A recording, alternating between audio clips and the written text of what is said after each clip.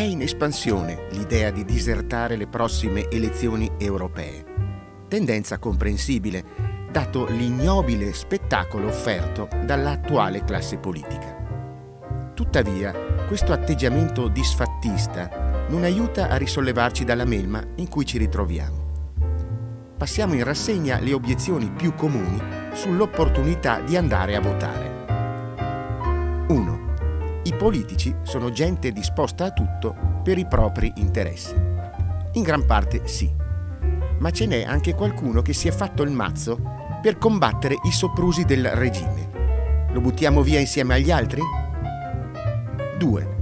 Se prevarrà l'astensione, il sistema sarà delegittimato e crollerà. Colossale sciocchezza. Davvero certi squali si farebbero scrupoli di coscienza per la bassa affluenza alle urne e rinuncerebbero al mandato in nome della democrazia? 3. Con gli appelli a votare i politici dimostrano di temere il non voto. Altra sciocchezza. L'unico non voto che il politico teme è quello dei suoi sostenitori. L'appello è rivolto solo a loro.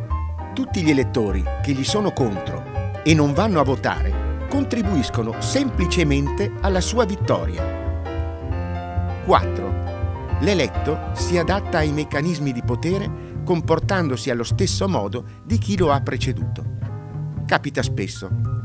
Ciò nonostante, se solo esiste la minima speranza che l'esito delle elezioni restituisca un insieme politico con qualche sfumatura migliorativa rispetto all'oscenità odierna, allora forse vale la pena di tentare.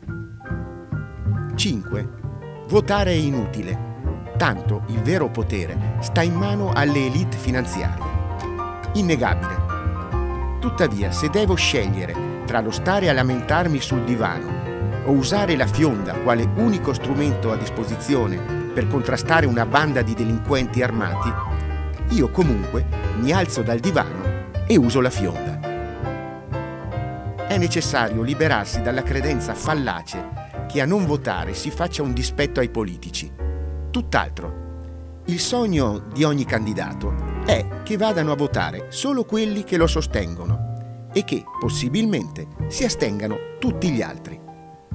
Il cosiddetto partito del non voto è come una squadra di calcio che si siede in mezzo al campo puntando sul fatto che gli avversari non oseranno approfittarne.